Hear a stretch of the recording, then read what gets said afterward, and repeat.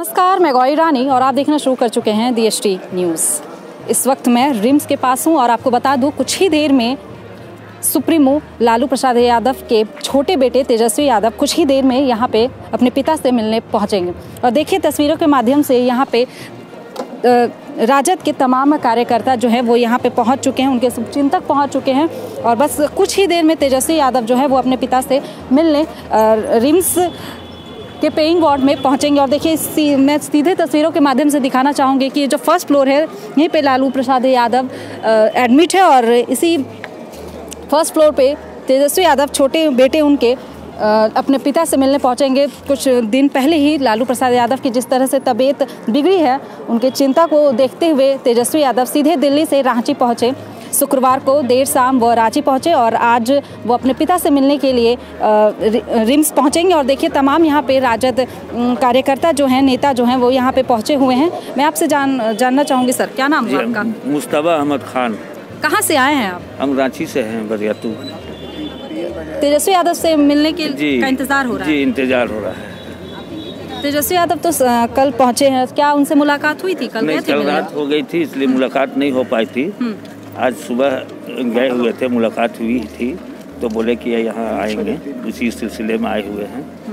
तो देखिए, ये 2020 का ये तीसरा मौका होगा जब तेजस्वी यादव अपने पिता से मिलने के लिए रांची पहुँचेंगे। इससे पहले 12 फरवरी को तेजस्वी यादव रांची पहुँचे थे। उसके बाद 11 जून अपने पिता के जन्मदिन के मौके पर वो यहाँ पे पहुँचे थे और इसी पेइंग वार्ड में वो केक काट कर अपने पिता का जन्मदिन को मनाया था और आज वो अपने पिता के स्वास्थ्य की जानकारी लेना, साथ ही राजनीति चर्चा भी करेंगे और वो रिम्स पहुँचेंगे। बस कुछ ही देर का इंतज़ार है और देखिए तस्वीरों के माध्यम से सभी लोग जो है वो इनके इनके इंतज़ार में खड़े हैं और तमाम और भी लोग हैं, मैं उनसे भी जानकारी लेना चाहूँगी। कहाँ से आए हैं हम रफी विधानसभा से आए हैं और मगध औरंगाबाद। क्या तेजस्वी यादव का इंतज़ार जी तेजस्वी इंतज़ार है। कल वो पहुँचे हैं रांची। क्या कल मुलाकात हुई उनसे? कल मुलाकात ना हुई थी। आज मुलाकातें के लिए खड़े हुए हैं।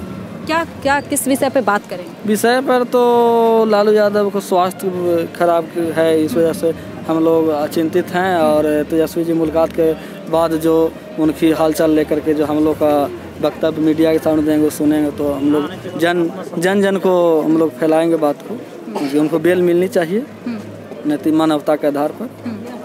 तो देखिए तेजस राजा सुप्रीमो ते, लालू प्रसाद यादव की जिस तरह से कुछ दिनों पहले ही तबीयत बिगड़ी है पच्चीस फ़ीसदी ही किडनी काम कर रही है ऐसे में आ, सभी कार्यकर्ता को उनके स्वास्थ्य की चिंता है और उनसे उनके स्वास्थ्य की जानकारी लेने खुद उनके बेटे आए आए हुए हैं रांची और कार्यकर्ता भी इसी इंतज़ार में है कि वो अपने पिता के स्वास्थ्य के बारे में जानकारी देंगे मीडिया से साझा करेंगे उनके स्वास्थ्य की जो तमाम जानकारियाँ हैं तो वो खुद सुनेंगे तो उन्हें शायद संतुष्टि मिलेगी। यही कह रहे हैं यहाँ पे जो व्यक्ति है। क्या नाम हुआ सर आपका? मेरा नाम हुआ रामदेव प्रसाद यादव। जी कहाँ से आए हैं? मैं गिरिडीह जिला से राजधनवार विधानसभा क्षेत्र से हम्म। यहाँ आने का क्या मकसद है? आने के बाद यहाँ एक लालू जी से आने के बाद एक संतुष्टि मिलती है। हम्म। भले मिले या नहीं मिले लेकिन संतुष्टि मिल जाती है एक महान आत्मा और इनकी शुभकामना के लिए इनकी स्वास्थ्य अच्छा रहे हम्म। और यही सब मैंने सुन कर करके हम लोग को दिल मन से रहा नहीं जाता है घर में। और इसकी इसीलिए हम लोग यहाँ रांची आए हैं और रांची आकर के मन से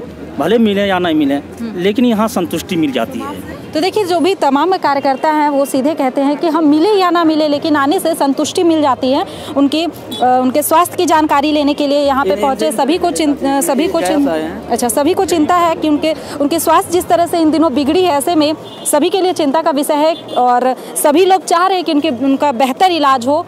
तो आप बताएँ माता जी कहाँ से आई हैं आप? हम गया से आए हैं। जी। और लालू जी हमारे प्रिय नेता हैं। तो उनसे तो मिल नहीं सकते हैं लेकिन तेजस्वी से मिलने आए हैं और कुछ कहने आए हैं कि बिहार में महिलाओं पर बहुत तरह का अत्याचार हो रहा अच्छा, है। मैं पूछूँगी आपसे आप आपकी उम्र बताएँ कितनी हो रही है? पैंसठ उससे ज़्यादा ही होगा हम्म। हमको उतना पता नहीं है। तो आप किन के साथ आई हैं? अकेले आए। अकेले आगे गए से तो गया से आने का मकसद क्या है आपका? तेजस्वी जी को हमको एक आवेदन देना है इसीलिए। आवेदन? विषय?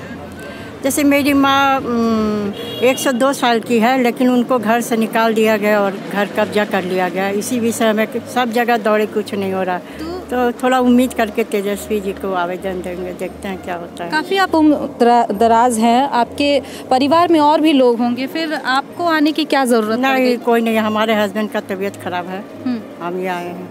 अच्छा। तो देखिए ये अपनी समस्याओं लेकर लेकर यहाँ पहुँची है कि शायद तेजस्वी यादव से मिल सके। तो देखिए मैं सीधे तस्वीरों के माध्यम से दिखाऊँगी कि ये जितने भी यहाँ पे लोग हैं वो सभी तेजस्वी के शुभचिंतक हैं राजद कार्यकर्ता हैं और सभी अपने अ, सभी यहाँ पे पहुँचे हैं कि तेजस्वी यादव से एक बार मुलाकात हो जाए उनकी एक झलक देख ले। साथ ही वो जब अपने पिता से मिलकर बाहर निकलेंगे तो अपने पिता के स्वास्थ्य की जानकारी देंगे जो कि खुद ये सभी यहाँ पे अ, सुनेंगे। तो फ़िलहाल इस खबर में इतना ही।